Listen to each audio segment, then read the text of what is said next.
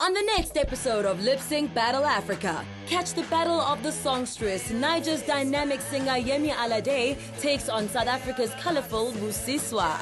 Lip Sync Battle Africa, Thursday at 10 to 9 on MTV.